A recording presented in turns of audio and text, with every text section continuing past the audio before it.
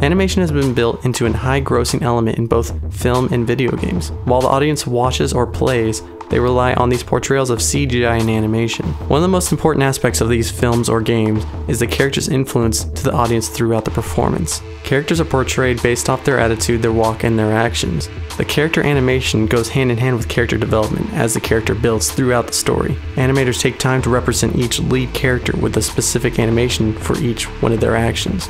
When a key character is animated, they are best displayed based off their experience and their backstory. Their animation brings them to life, which in time brings the audience to understand the character's emotion. A character with a limp could show damage past, while a character, say with enthusiasm, would look anxious. When creating a character, the animator is not only focusing on the animation of the character alone, but they also must blend that character's animation with other animated characters and the environment together. When an animated character is created, their size, their shape must fit the universe around them. For instance, when you look at Toy Story, all the main characters are toys. So in this case, all the environment around them is a lot larger than them. The first CGI lead character in a feature-length film was a ghost. In the movie Casper, directed by Brad Silberling, the ghost realistically interacted with the actors. The actors depended on animators to create the ghost's animation to fit their portrayal on camera. As this is a normal attribute in film, you usually see a difference in video games. Both game animation and movie animation are quite different in their own ways. In an animated film, the animator focuses on animating what is in the view of the camera's shot. The movie obviously plays out the same each time, and each character having the same animated roles.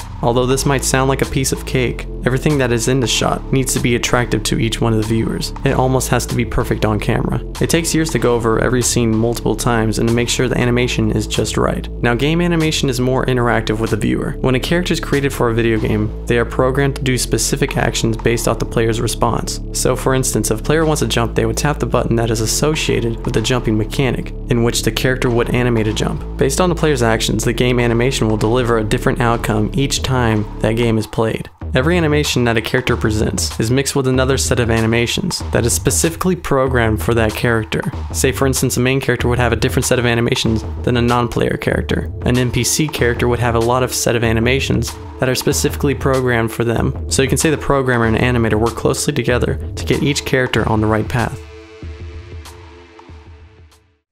The first CGI feature length animation was Toy Story. This is the movie that everyone flipped out over, because it was the first time anyone has seen this kind of animation. Over time, animation has grown into film and into games. This is a great example to show when time grows, animation also grows with it. Besides creating characters from scratch, some movies and games have something called motion capture, or in other words, mocap, in which the actors' movements are placed into the animated scene to create their character's animation. Directors and creators can go another step up from motion capture and do something what is called performance capture, in which the actors' movements, facial expressions, and voice is captured all at once. Unlike performance capture, motion capture captures everything separately. With performance capture, the actor would be acting out a performance as if they were acting it out in a live film. Examples of characters that were created with performance capture include Gollum from the Lord of the Rings trilogy and Caesar from The Rise of the Planet of the Apes, which in both cases were performed by Andy Serkis. Death Stranding and Hideo Kojima's next game will include performance capture by Norman Reedus as well. If you want to see more on Death Stranding, I post a series of in-depth analysis videos on my channel on the game, which you can find in the card above or in the description.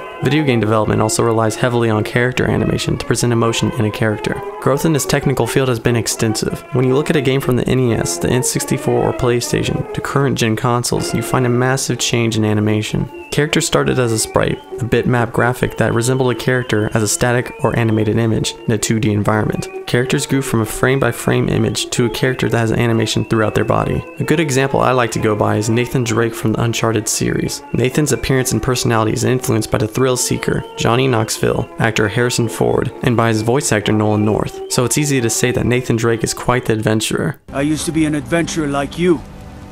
And I took an arrow in the knee.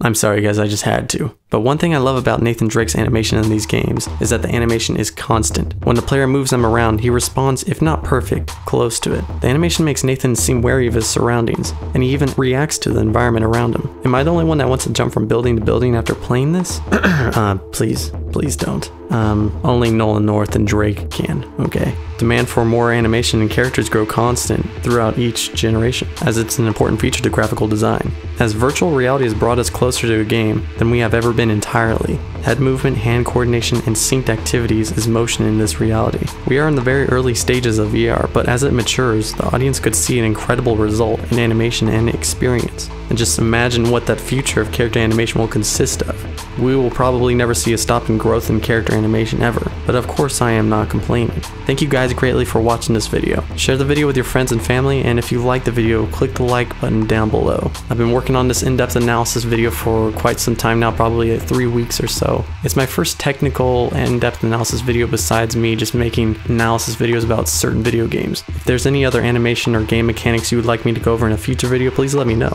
I didn't really even go full into detail about performance capture itself, and I would love to talk about that in the future. So the next time you watch an animated film or play a game, take a look at the character animation to see if you find anything interesting. Also put down in the comments down below what your favorite animated character from a film or a game is. Again, thank you guys for watching. Goodbye.